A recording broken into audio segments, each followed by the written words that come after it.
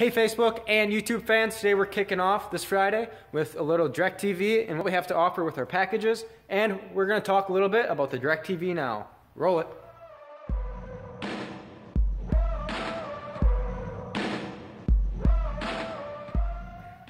Hey, Brandon from Dean Satellite and Security. Welcome to this week's vlog. Hope everyone is enjoying this awesome Friday.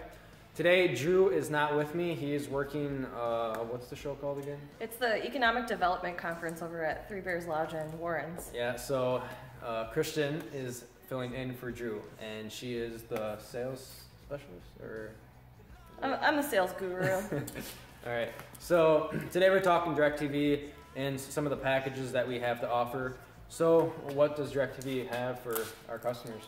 Well, I mean, if you're looking for basic um, entertainment for your family or kids friendly kind of stuff, the select package would be perfect. Um, you know, if you're a sports fan and you want the Sunday ticket, maybe the Packers aren't your team, which would be really unfortunate, but that's okay. Um, the choice package definitely has a lot to offer there.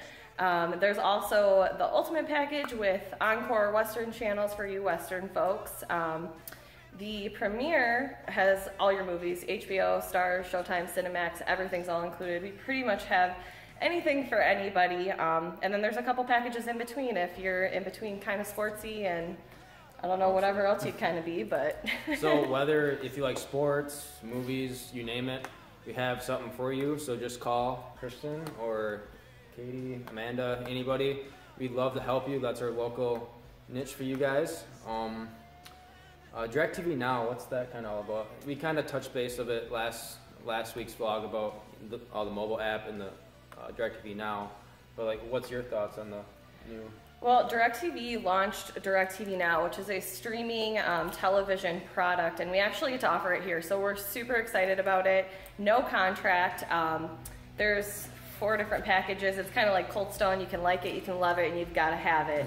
Um, but the price is super reasonable. So for people who want to, you know, get a little bit of the streaming, kind of get a feel of what DirecTV has to offer, it's definitely an awesome option.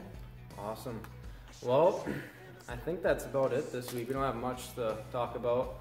I know March Madness is coming up. That kicks off on the 14th of March, so about two weeks before my big 21st birthday. So. Um, but yeah, so enjoy the weekend. Be safe. Uh, talk to you guys next week. See ya. All right, bye.